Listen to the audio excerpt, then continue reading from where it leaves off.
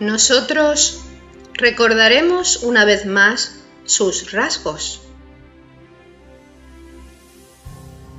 Su pelo castaño claro era más bien largo, con suaves ondulaciones y notables mechones separados, en cuyas puntas su color era ligeramente más oscuro.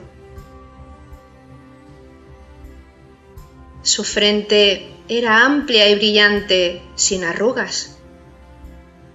Sus cejas algo más oscuras que su pelo, pero no tan prominentes.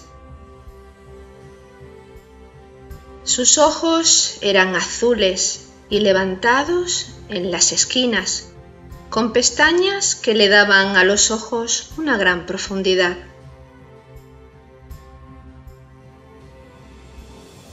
Sus pómulos eran algo elevados y su nariz no era larga, sino delicadamente redondeada. Su boca no era grande, pero con labios llenos.